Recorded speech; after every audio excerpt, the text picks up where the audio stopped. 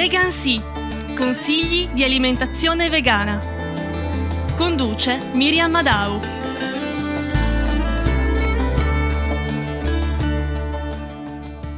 Benvenuti a questa nuova puntata di Vegan Sea su Radio Dreamland. Un saluto a tutti da Miriam Madau e partiamo subito con un argomento di larga portata. Avevamo visto in una precedente puntata come sia urgente salvare il pianeta dai disastri all'ecosistema provocati dagli umani e a cui ora bisogna assolutamente correre ripari per non rimanere senza la vita stessa.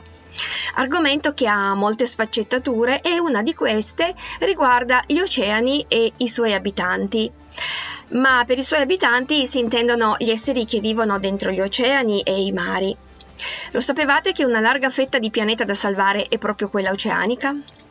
Avete presente quelle bellissime immagini del nostro pianeta Terra scattate dalla ISS, la Interna- International Space Station, o dagli astronauti nelle varie missioni spaziali? Quella bella gemma azzurra sferica orbitante nello spazio, compagna di infiniti altri pianeti e stelle? Ecco, tanto per avere un'idea della larga por- portata dei danni inferti alla nostra Terra, se proviamo a fare da quella prospettiva dall'alto uno zoom in verso di lei, e puntiamo al centro del Pacifico settentrionale, addirittura vedremo una larga, strana, nuova isola che galleggia. È un'isola di microplastica, che è stata denominata Great Pacific Garbage Patch. Si tratta di una immensa massa di spazzatura che vaga nell'Oceano Pacifico. Pensate, ben oltre 21.000 tonnellate di microplastica, in un'area di qualche milione di chilometro quadrato, con una concentrazione massima di oltre un milione di pezzetti per chilometro quadrato. L'accumulo è noto da parecchio tempo, perlomeno dalla fine degli anni Ottanta, e ha un'età di oltre 60 anni. Un gigantesco vortice di correnti superficiali ha concentrato in quest'area i rifiuti, formati principalmente da materiali plastici. E questa concentrazione dipende dal fatto che la plastica non è biodegradabile e permane per tempi lunghissimi nell'ambiente. Una lentissima degradazione a opera principalmente della luce del sole scompone i frammenti plastici in sottili filamenti, caratteristici delle catene di polimeri. Questi residui non sono metabolizzabili dagli organismi e così finiscono per formare un vero e proprio brodo nell'acqua salata dell'oceano e finiscono poi per entrare nella catena alimentare, visto che i filamenti plastici sono difficilmente distinguibili dal plankton e quindi ingeriti dagli organismi marini ma sono una minaccia anche per la capacità della microplastica di fornire un supporto alla proliferazione di colonie microbiche di patogeni. Più in generale è anche preoccupante la presenza di rifiuti pervasivi e tossici in un, un ecosistema fondamentale durante periodi di decine o centinaia di anni è l'esempio dell'impatto delle azioni umane sull'ambiente e che inevitabilmente ci si ripercuotono anche contro e l'Oceano Atlantico non è da meno. Da 12 a 21 milioni di tonnellate di frammenti di plastica inferiori ai 5 mm e solo nei primi 200 metri di profondità. E questo il bilancio di uno studio inglese pubblicato sulla rivista Nature Communications il 18 agosto 2020. A renderlo noto è uno studio del britannico National Oceanography Center. Nel 2019 biologi inglesi hanno trovato microplastica nelle pance anche di alcuni gamberetti. Sei fosse oceaniche, inclusa quella delle Marianne, contengono residui di nylon e altre fibre artificiali. Ma è vero anche che persino le reti dismesse continuamente dalla pesca commerciale sono di fibre di plastica e contribuiscono grandemente al suo accumulo in mare. Infatti le reti da pesca costituiscono il 48% della plastica dispersa nei nostri oceani e anche altri tipi di attrezzi da pesca rappresentano la, la maggior parte del resto. E questa è una delle altre sfaccettature del problema, la pesca. Così, anche se l'inquinamento da plastica è uno dei problemi ambientali più grandi del nostro tempo, con 150 milioni di tonnellate di rifiuti che galleggiano in mare, l'impatto che l'uomo ha sui mari e sui suoi ecosistemi va ben oltre questa aberrazione. La pesca, e soprattutto la pesca intensiva, sta distruggendo i mari a una velocità inimmaginabile Sempre immagini scattate dalla ISS mostrano gli oceani solcati da tante righe, ebbene, sono le reti trainate dai pescherecci. È anche bene sapere che i mari eh, non sono solo l'habitat di migliaia e migliaia di specie animali e vegetali, ma sono essenziali per eh, l'equilibrio dell'atmosfera che circonda la Terra e anche di conseguenza per la nostra sopravvivenza. Basti pensare che producono la metà dell'ossigeno che respiriamo, mentre assorbono circa un terzo delle emissioni di gas inquinanti create dall'uomo. In più, dagli anni 60 sono stati eh, fondamentali per regolare la temperatura della Terra, assorbendo il calore in eccesso alle, dovuto alle attività umane. L'uomo invece, anziché essere grato di tutto questo, è stato invece in grado di distruggere in pochi decenni il 29% delle specie di pesce per uso commerciale. In modo abominevole ogni anno vengono uccisi non solo milioni di pesci, ma anche 650.000 animali marini tra balene, delfini e foche, incluso il massacro di 73 milioni di squali all'anno. Addirittura sembra sia calcolato 30.000 squali ogni ora per la loro carne o perché si trovano nel posto sbagliato al momento sbagliato. In Asia si consumano enormi quantità di zuppa di pinne di squalo, considerata un simbolo di ricchezza e un, un elisir di lunga vita, se vogliamo. Lo sterminio di questi esseri è legato anche a questa consuetudine, nonostante sia stato più volte dimostrato che le pinne di squalo non apportano benefici significativi alla salute. La pesca intensiva, ma anche gli allevamenti di pesce, distruggono animali, piante, habitat acquatico e quindi eh, gli ecosistemi acquatici e rappresenta un serio pericolo per la sopravvivenza di tutte le specie, oltre ad avere un risvolto etico che non possiamo più ignorare. Per quanto riguarda il Mar Mediterraneo, che ci riguarda anche più da vicino, i ricercatori della stazione zoologica Anton Dorn di Napoli, del CNR e di altri studi italiani e internazionali hanno pubblicato a febbraio su Frontiers in Marine Science uno studio in cui propongono un modello di pesca sostenibile. Gli autori hanno applicato il modello ad alcune delle zone di mare più frequentate dai pescatori e più soggette tanto alla pesca a strascico quanto allo spreco di pesce la Sicilia meridionale, la Liguria, il Portogallo, la parte della costa continentale e la Spagna, la parte della costa catalana. I ricercatori hanno analizzato i dati degli ultimi 15 anni sulla pesca a strascico e sullo scarto di pesci e crostacei sotto la taglia minima di ferimento e ributtati in mare. Da tenere presente che, secondo la FAO, il 75% dei banchi presenti nel Mar Mediterraneo e nel Mar Nero è in overfishing, cioè sottoposto a prelievi superiori alle possibilità naturali di ripristino. E nonostante questo, circa il 40% del pesce pescato viene buttato. In più, circa la metà di quello sprecato nel Mediterraneo arriva proprio dalla pesca a traino su queste rotte. Ricordiamo che sempre la FAO ha fatto una stima che entro il 2048 gli oceani saranno vuoti, disabitati e in questa visione quasi apocalittica, diciamo, non ci saranno che montagne di microplastiche come unici abitanti, se non si interrompe la distruzione dei mari e del popolo marino di animali non umani.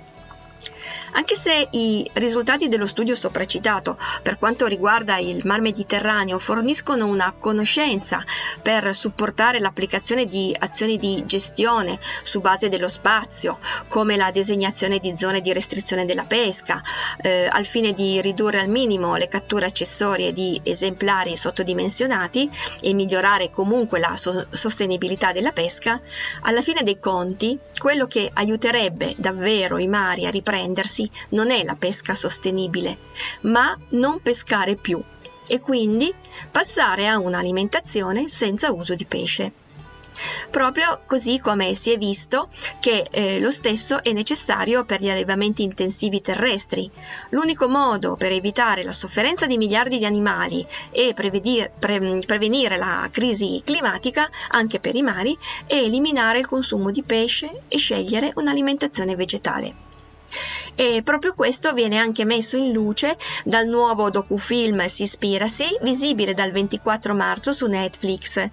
Il nuovo documentario prodotto da Kip Andersen, co-regista e produttore di Conspiracy, che in questo caso mette in luce l'impatto che le attività umane hanno sugli ecosistemi marini e di come la pesca stessa in tutte le sue modalità, tra l'altro condotta in modo atroce sempre, sia un non senso e non abbia nulla di sostenibile.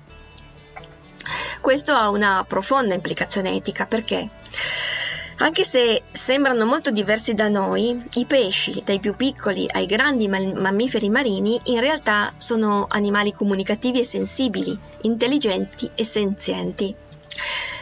Per esempio hanno vibrisse sulla schiena che registrano vibrazioni e campi elettrici e hanno papille gustative nella gola, così come nel naso e nelle labbra. Usano la bocca più o meno come noi usiamo le dita, per afferrare e esplorare gli oggetti, per raccogliere cibo, costruire rifugio e prendersi cura anche dei piccoli. Per esempio, eh, quando avvertono un pericolo imminente, alcuni pesci aprono la bocca per permettere ai piccoli di nascondersi all'interno. Per di più la bocca dei pesci è così sensibile agli stimoli che il dolore che provano è particolarmente acuto quando viene ferita, per esempio quando vengono presi all'amo. E qui c'è implicato anche tutto il discorso di quella che viene chiamata pesca tra virgolette sportiva. E che dire poi delle aragoste? Sono animali intelligenti e dalla vita sociale complessa. Addirittura possono camminare sul fondo dell'oceano per centinaia di chilometri durante le loro migrazioni stagionali e possono vivere fino a 100 anni. Purtroppo usare la parola sostenibile per la pesca è un non senso. La pesca è un orrore per tutti gli esseri marini che vengono strappati dolorosamente al loro habitat naturale. Bisognerebbe provare a immedesimarsi perché nella pesca in mare i pesci, quando vengono issati dalle profondità marine, subiscono una dolorosa decompressione che determina la fuoriuscita dei bulbi oculari e spinge l'esofago e lo stomaco fuori dalla bocca. I pesci più piccoli sono normalmente gettati su letti di ghiaccio tritato. La maggior parte di loro, mentre sta soffocando perché fuori dall'acqua, viene anche schiacciata a morte da quelli che a loro volta gli vengono gettati sopra mentre i pesci più grandi vengono buttati sul ponte e squartati vivi. Ma anche negli allevamenti i pesci vengono uccisi senza nemmeno essere storditi. Le loro arcate branchiali vengono tagliate e vengono lasciati sanguinare fino alla morte, in preda a convulsioni e altri evidenti segni di sofferenza. In altri casi gli animali vengono uccisi semplicemente prosciugando l'acqua dalla vasca, mandandoli incontro a un lento soffocamento. E che dire dei crostacei? Vengono tenuti ad agonizzare in piccole vasche, con le chele legate, per impedire loro di muoversi e di attaccare le altre. Capita agli astici, ai granchi, alle aragoste. Tra l'altro le aragoste sono animali solitari, abituati a grandi spazi, in fondo al mare, e trovandosi prigioniere in un posto piccolissimo impazziscono. Anche noi, come diventeremmo se subissimo lo stesso trattamento? Vengono infine bollite vive senza alcuna pietà, in una lenta agonia, mentre cercano disperatamente di uscire dalla pentola e questo è terribile. È accertato che eh, a meno che questi animali non siano storditi elettronicamente prima, possono essere necessari fino a 3 minuti prima che un granchio muoia in acqua bollente e anche di più per una ragosta. Questo è veramente e davvero atroce. Quindi, se dicevo che è un problema etico, lo è per davvero. E anche in questo caso il modo eh, per andare oltre e fare la differenza è poi alla fine semplicemente fare la scelta, quella di non mangiare più altri esseri senzienti. La dottoressa Sylvie Earle uno dei maggiori esperti di biologia marina del mondo ha dichiarato non mangerei mai una cernia come non mangerei mai un cocker spaniel. Le cernie sono così di buon carattere e curiose. Sapete, i pesci sono sensibili, hanno personalità, provano dolore quando vengono feriti. E ancora afferma, oggi abbiamo perso circa la metà delle barriere coralline e quasi il 90% dei pesci di grosse dimensioni. Abbiamo decimato pesci in maniera spaventosa. Ogni anno preleviamo dagli oceani quasi 100 milioni di tonnellate di fauna distruggendo gli habitat. Credevamo che l'oceano fosse vasto, resistente e con risorse infinite. Non è affatto così e noi abbiamo rotto i suoi equilibri. Nessuna specie ha cambiato i mari più degli umani. Abbiamo preso il pesce su scala industriale e abbiamo riempito gli oceani di plastica. Ora è tempo di invertire la rotta prima che il danno sia irreversibile. Impegnata a oggi in una iniziativa globale che supporta il progetto Rolex Perpetual Planet, ha lo scopo di proteggere e difendere i mari e gli oceani dalla sovrapesca, dagli effetti del cambiamento climatico, dall'inquinamento e dalle predazioni dell'uomo. E sono sue parole, salvando l'oceano proteggiamo noi stessi. Che dire dunque del pesce? Perché distruggere la nostra casa per mangiare pesce? Eh, e perché procurare tanta sofferenza? Il principio non è diverso dal perché mangiare carne, quando di entrambi non abbiamo bisogno, ma soprattutto perché mangiare esseri pari a noi, di pari intelligenza, se non addirittura più sviluppata della nostra, e soprattutto esseri che con noi viaggiano sulla stessa gemma azzurra nello spazio? Esseri che meglio di noi conoscono le profondità degli oceani e le altre infinite forme di vita che ospitano e che a noi sono ancora sconosciute.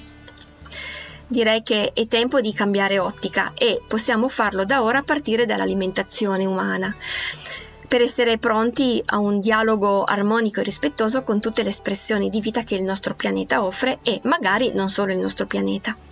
E proprio a questo proposito consiglio un libro che allarga gli orizzonti, eh, apre la mente e riaccende lo spirito che è in ognuno, nel considerare diversamente dall'ovvio le creature a noi aliene, quelli che l'umano ha classificato come animali, tra virgolette, e che coabitano sulla e nella sfera azzurra che ruota nello spazio con noi. Si tratta del libro Alla ricerca di intelligenze diverse di Giancarlo Barbadoro. Nell'attuale edizione aggiornata e ampliata che potete trovare in questi giorni anche in edicola con la testata del giornale Cronaca Qui in Torino e provincia, oppure alla Grotta di Merlino in Piazza Statuto 15 sempre a Torino, oppure sul sito www.trischeledition.com anche in ebook. Ma ora lasciamo lo spazio alla pubblicità. A tra poco.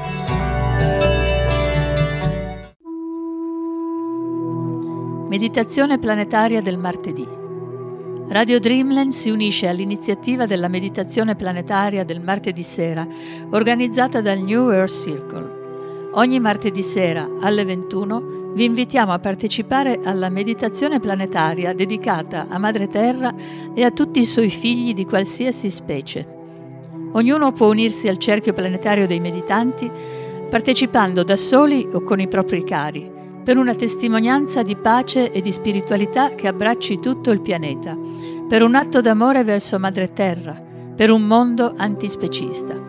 Unitevi con noi in meditazione seguendo la Nassinar, la musica del vuoto eseguita al flauto da Giancarlo Barbadoro. Ogni martedì alle 21. Per informazioni www.newercircle.org.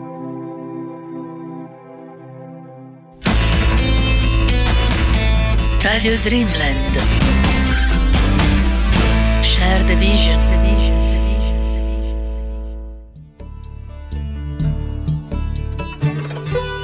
Rieccoci con Vegan Sea. E adesso diamo uno sguardo a quanto il pesce possa essere salutare o meno. Eh, mentre adesso si è più certi e quindi più informati sui danni all'organismo dovuti al consumo di carne, molti continuano a indicare il pesce come un cibo salubre. Ma non è proprio così. La motivazione principale della sua presunta eh, salubrità sta nell'apporto di acidi grassi essenziali omega 3. Eh, di cui si pensa sia ricco il grasso di sardine, sgombri, aringhe, pesce spada, salmoni e tonni. È vero che gli omega 3 sono benefici per lo sviluppo del sistema nervoso, per la vista, le capacità cognitive e soprattutto per la prevenzione delle malattie cardiovascolari. Ma facciamo una parentesi. Eh, gli omega 3 sono detti grassi essenziali perché il nostro organismo non è in grado di sintetizzarli da solo, ma devono essere ricavati dal cibo che mm, mangiamo ogni giorno. Ci sono molti luoghi comuni e informazioni non proprio corrette che riguardano questo nutriente. In generale, tutti gli acidi grassi polinsaturi, come gli omega 3, sono importanti per la salute delle membrane cellulari del nostro organismo e poi sono utili a contrastare l'eccesso di trigliceridi e a mantenere una corretta pressione sanguigna. Sono protettivi verso le malattie cardiovascolari e alcuni tipi di tumori e diminuiscono il rischio di mortalità per malattie coronariche. Hanno anche effetti positivi sulle malattie neurodegenerative come l'Alzheimer. In pratica aiutano a prevenire molte malattie mh, mm, croniche o degenerative. Però rimane da dimostrare che questi benefici si ricavino davvero dal consumo di pesce. Quel che è certo invece è che assumendo pesce ci sono dei reali pericoli per la salute, mentre ricavando gli omega 3 dagli alimenti vegetali si possono ottenere benefici effettivi senza alcun effetto dannoso. I problemi del pesce sono diversi. Intanto contiene grassi di diverso tipo, quindi non soltanto gli omega 3. Tra il 15% e il 30% dei grassi del pesce eh, è costituito dai dannosi grassi saturi, una percentuale che è poco inferiore a quella che si trova nella carne di manzo o di pollo. Il pesce contiene anche molto colesterolo. I gamberi e altri crostacei hanno quasi il doppio di colesterolo rispetto al manzo, oltre a contenere pochi omega 3. In generale il pesce più comunemente consumato è molto meno ricco di omega 3 di quanto si pensi. Una ricerca pubblicata nel 2008 sul Journal of American Dietetic Association dal titolo eh, The Content of Favorable and Unfavorable eh, Polyunsaturated Fatty Acid Found in Commonly Eaten Fish ha mostrato che i pesci più venduti sono quelli che contengono meno omega 3 per di più, la carne degli animali marini è un ricettacolo di inquinanti, specie i tessuti adiposi, proprio quelli in cui si trovano gli omega 3. In sostanza, gli stessi pesci il cui consumo viene raccomandato per il loro contenuto in omega 3 sono poi quelli il cui consumo è sconsigliato per il loro contenuto di, inquinanti ambientali. Questi inquinanti sono stati definiti contaminanti organici persistenti o bi- e bioaccumulativi con la sigla POPS, poiché persistono nell'ambiente per molti decenni e si accumulano negli, organismi animali, uomo incluso. Si tratta di metilmercurio, diossina e policlorobifenili, ma anche idrocarburi policiclici aromatici e polialogenati bifenili, insomma, giusto per fare un po' di nomi. Il pesce rappresenta una delle principali fonti di assunzione di questi eh, composti da parte degli esseri umani. Il nostro organismo non ha eh, alcun sistema per eliminare queste sostanze e non è in grado di contrastare le loro numerose influenze negative che eh, succedono eh, per esempio come un aumentato rischio di patologie croniche, malattie cardiocircolatorie, neoplasie, diabete di tipo 2, in aggiunta poi ancora ad alterazioni che possono essere immunitarie allergiche. Per questo il consumo di pesce, in particolare di pesce grasso, è particolarmente sconsigliato per le donne in gravidanza, in allattamento e per i bambini, anche se naturalmente è fonte di pericolo un po' per tutti. Poi però esistono anche gli omega 6, che sono anch'essi dei grassi essenziali, ma questi grassi abbondano nei cibi, in particolare ne sono ricchi gli oli di semi. E quindi non occorre preoccuparsi di non assumerne, assumerne abbastanza, anzi al contrario il loro consumo va limitato perché può interferire con l'assimilazione degli omega 3. Tra l'altro, l'attenzione al consumo di omega 3 è più importante per gli onnivori, perché i vantaggi degli omega 3, come abbiamo visto eh, sopra, sono eh, rappresentati soprattutto dalla prevenzione di alcune malattie, malattie che colpiscono mediamente di più gli onnivori rispetto alle persone che seguono una dieta 100% vegetale. Infatti i vegani godono già di una maggiore protezione verso queste malattie e quindi sono gli onnivori, soprattutto quelli che seguono la dieta tipo italiana con un ampio consumo di ingredienti animali, che dovrebbero preoccuparsi di assumerne abbastanza invece anche perché l'alimentazione onnivora media contiene pochissimi omega 3. Non c'è dunque motivo di doversi porre il problema degli omega 3 proprio nel momento in cui si passa a una dieta 100% vegetale. Comunque, in ogni caso, se si vuole seguire una dieta particolarmente sana e, e, salutare, è giusto introdurre i cibi vegetali ricchi di omega 3 nella propria alimentazione. Quali sono questi cibi eh, ricchi di omega 3? Allora, l'olio di semi di lino, eh, l'olio che però deve essere eh, tenuto in frigo. Una porzione equivale a un cucchiaino, circa 5 grammi. Semi di lino macinati, una porzione di 3 cucchiaini, quindi circa 10 grammi. Noci, una porzione di 30 grammi, circa 6 noci. Semi di chia, sempre macinati, una porzione che equivale a 15 grammi. I semi è meglio macinarli perché sono molto piccoli e hanno la cuticola molto dura e un po' scivolosa e quindi da masticare scappano un po' da tutte le parti. E, e bisogna però macinarli al momento e, o comunque nell'arco della giornata perché altrimenti eh, le proprietà e il contenuto di omega 3 viene perso. La quantità ottimale da assumere nella giornata è di questo quantitativo due porzioni, non necessariamente dello stesso tipo di cibo, ma anche una porzione di uno e una, del, e una di un altro. Queste indicazioni, tra l'altro, sono state tratte dalle raccomandazioni del piatto VEG, le linee guida per una sana alimentazione che sono promosse dalla Società Scientifica di Nutrizione Vegetariana. La cosa importante per quanto riguarda, dicevamo, l'olio di lino che deve eh, rispettare la catena del freddo, quindi deve essere sempre mantenuto in freddo dalla produzione mh, mm, quando viene appunto negli scaffali, eh, tenuto negli scaffali dei negozi e poi dopo anche in casa tenuto al freddo.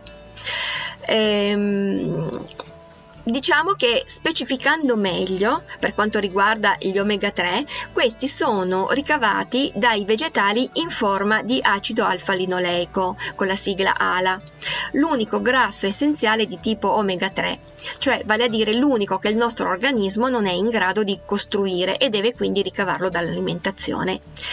E gli ALA si trovano nei semi e olio di lino, di chia e delle noci, come abbiamo visto prima, tutti alimenti molto semplici, sostenibili, che non provocano alcun danno e si trovano in qualsiasi supermercato. Il nostro organismo poi cosa fa? Converte gli ALA, detti appunto acidi grassi a catena corta, in acidi grassi a lunga catena, che sono il DHA e l'EPA, che hanno tutto un nome molto lungo e che poi lo, lo potete trovare comunque se andate su internet lo trovate. Il tasso di conversione è sufficiente per poter ottenere la quantità corretta di omega 3 a lunga catena. Uno studio della European Prospective Investigation into Cancer and Nutrition ha evidenziato che le donne vegan hanno quantità maggiori di omega 3 nel sangue rispetto a quelle onnivore, a quelle latto-ovo vegetariane e a quelle che non consumano carne ma consumano pesce. La conclusione è stata che nelle persone che non consumano pesce il tasso di conversione da ALA a, alle sigle che abbiamo detto EPA e, DHA, quindi quelle a catena lunga, potrebbe essere naturalmente più alto. Gli omega 3 a lunga catena eh, diciamo che sono la forma eh, che si trova di solito negli integratori vegetali e deriva eh, da alcuni tipi di alghe marine. Infatti in natura gli omega 3 a catena lunga sono nelle alghe e solo in alcuni tipi di pesce, ma in questi in misura molto minore di quanto invece di solito si creda cioè nei pesci grassi come il salmone, la trota e la ringa. Questi pesci non contengono solo però questi acidi grassi benefici, ma anche una mh, mm, elevata percentuale di grassi saturi, tra il 15 e il 30%, cioè quelli dannosi, colesterolo, e che promuovono le stesse malattie degenerative che gli omega 3 con- dovrebbero contrastare.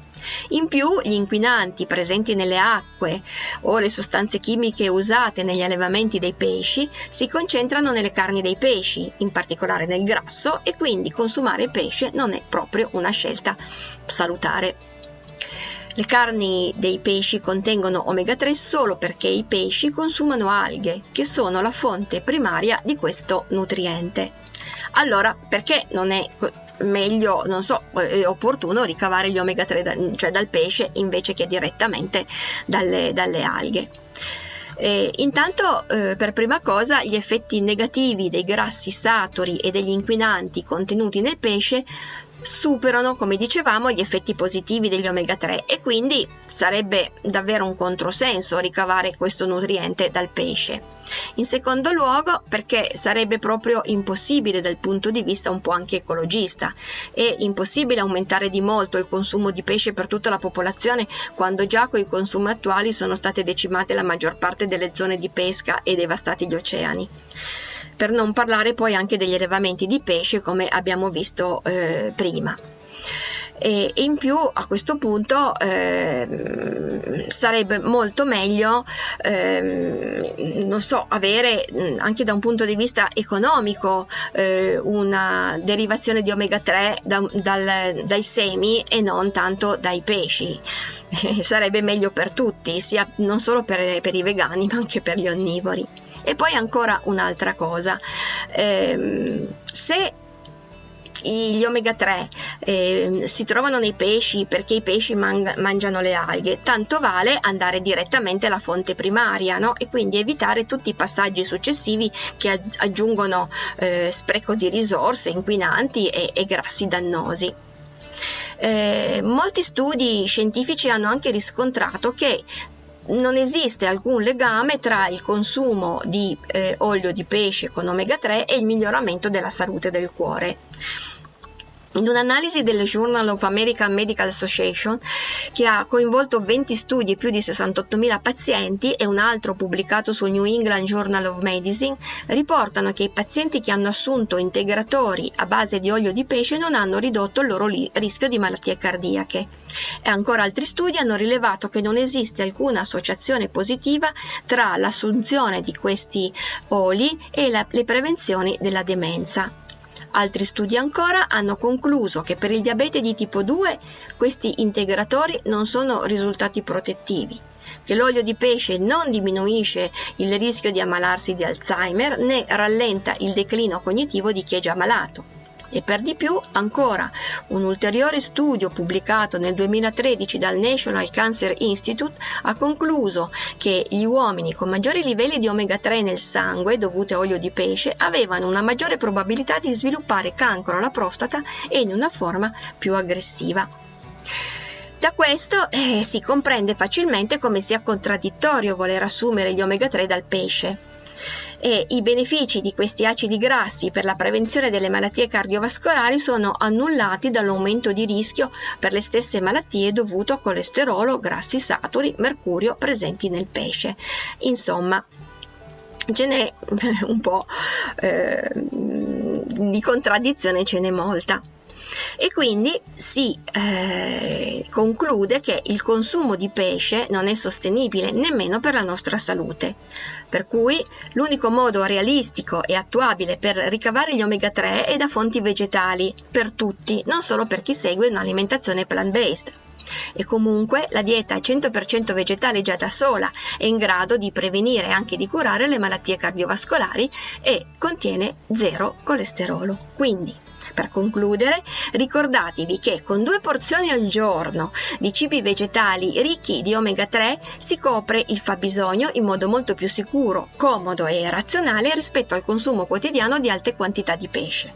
Quindi una porzione equivale a, rivediamolo, un cucchiaino di olio di semi di lino da frigo, oppure 3 cucchiaini di semi di lino macinati, oppure 30 g di noci, oppure 15 g di semi di chia macinati.